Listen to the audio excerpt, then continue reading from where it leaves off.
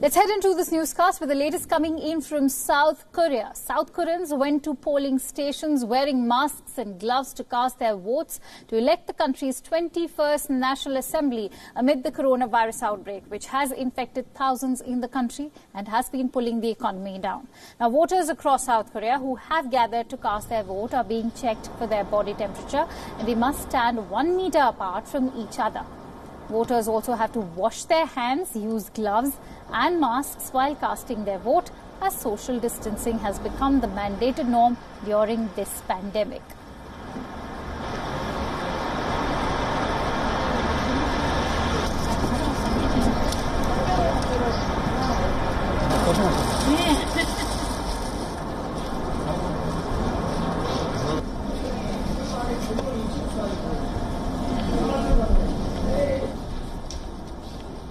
정치와 코로나는 사실 어려운 상황이긴 하지만 별개라는 생각이 있고 어, 선거는 어, 나라가 좀 정직하게 위선이 없는 바른 정치를 했으면 하는 그런 마음 때문에 While the critics of the government feared chaos during the polls, voters calmly queued up outside booths to practice their constitutional right.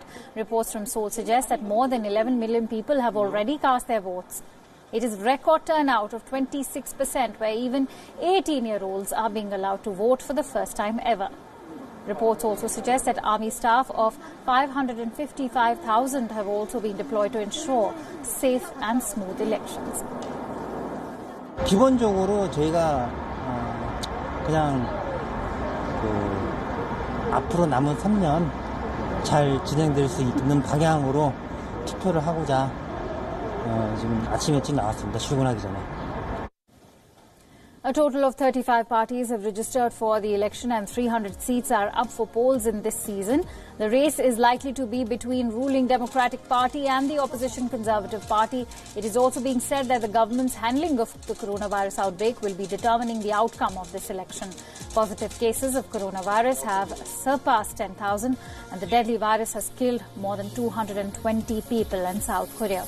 The country has chosen to go ahead with the election.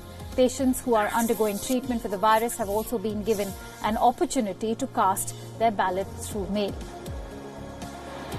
The country's strategy in containing the virus spread has been hailed as quote unquote exemplary democratic response. As of today, the Moon Jae-in government has tested more than 250,000 people for the virus, but there are still close to 2,800 active coronavirus cases, with at least 55 needing critical care in South Korea.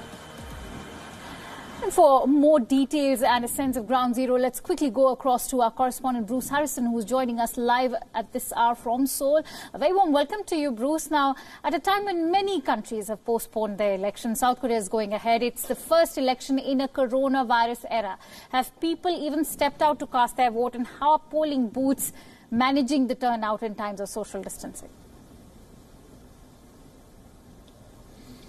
Alpancha, I'm outside of a polling station right now, and you can see a slow trickle of people coming in and out. This is actually an old gymnasium, part of a church complex here in Seoul that they've opened for voting. And it's hard to see, but all along this pathway there are blue arrows. And as you mentioned, social distancing is key for this vote. And these arrows are one meter apart, and you're required to stand on these arrows as you queue to get into the polling station. Now, I stood by the door for a while, and there was the occasional moment from staff telling these people, hey, get back on your arrows, you're getting too close to each other. But by and large, people have been following the directions closely. The temperatures are checked, you sanitize your hands, then you put on gloves, then you get your ballot, and you cast your vote. Then you're out. Toss the gloves back on the street. The process has been fairly seamless so far. People have been polite, cordial, and patient as they wait to vote despite this epidemic here in South Korea. Right. Uh, Bruce, the coronavirus remains a huge factor in these elections, no doubt. Will President Moon Jae-in's ruling Democratic Party of Korea get a boost from the government's swift response to the pandemic, or will it be on the back foot over its handling of the economy? Well, those are the two key election issues right now COVID 19 and the economy. Moon Jae in if anything, is is lucky to an extent that the election is coming right now, and the country's been able to pull it off because, by and large, his government has received a positive response from the public over its handling of the coronavirus outbreak here. So he really wants the public to vote their confidence in his government at the polls today based on how they've reacted to COVID 19. At the same time, yeah, the economy, like I said, a key issue. The economy was sluggish before COVID 19, so you can't put it all on the coronavirus outbreak uh, for small businesses closing and, and other issues here um, with work. So Moon is going to face a challenge in that. And the opposition party is really going to blast him, saying Moon screwed up the economy before COVID 19.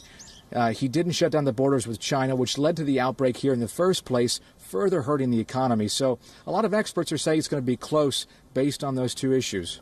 Right. Bruce, you know, let's now focus on those issues that are dominating this election. You've just mentioned two very crucial ones, be it women's safety or the rights of the North Koreans stuck north of the DMZ. What are the key issues now dominating these elections, apart from the ones you mentioned? And could the regional parties or the smaller players also play a crucial role?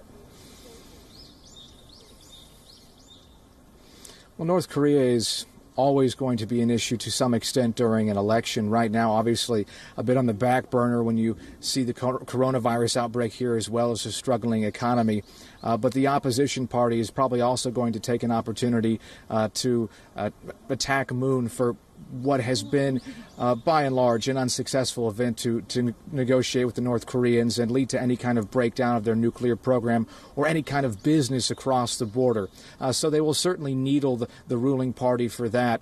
Uh, but it's really going to fall uh, to the economy and um, and to the to the coronavirus uh, um, response. Uh, more broadly, healthcare here in South Korea um, is always a key issue. The Koreans typically hold their government accountable to maintain a high standard of care, and they've seen that throughout this outbreak, so that'll bode well for the ruling party. Absolutely, and in fact, they're being lauded at the global stage as far as uh, South Korea's response is concerned towards coronavirus. Now, last but not the least, uh, Bruce, this election is also being touted as a referendum on the reforms recently passed in South Korea. These electoral reforms are giving the 18 year olds the right to vote for the very first time. Could these 18 year olds prove to be the deal breaker since the young are quite fed up of inequality and the wage gap? This would certainly be an opportunity for them to to take their voices to vote on those issues, uh, especially considering the high youth unemployment rate here. Uh, but we won't know exactly the demographic turnout for these elections uh, for at least probably 24 hours, based on the early voting that took place last Friday and Saturday to try and thin the lines here on Wednesday. We saw an extremely high turnout, uh, and part of that could have been the young vote. Um, a lot of young people right now, throughout the coronavirus outbreak, um, have perhaps been less responsive to the government's measures when it comes to social distancing as well as hygiene. And that's, you know, based on the fact that 27% of cases here are linked to people in their 20s and younger. So it's unclear how keen they are to support Moon Jae-in in this initiative to boost his party ahead of the next presidential election. Uh, but they certainly have an opportunity they didn't before in a country that struggles uh, with finding young people jobs and uh, getting their voices heard. Right. We're already being told that 11 million people have already cast their vote. Let's hope South Koreans actually turn up in full force to elect their new government on that note. Thank you so much, Bruce, for bringing us all those details live from Seoul.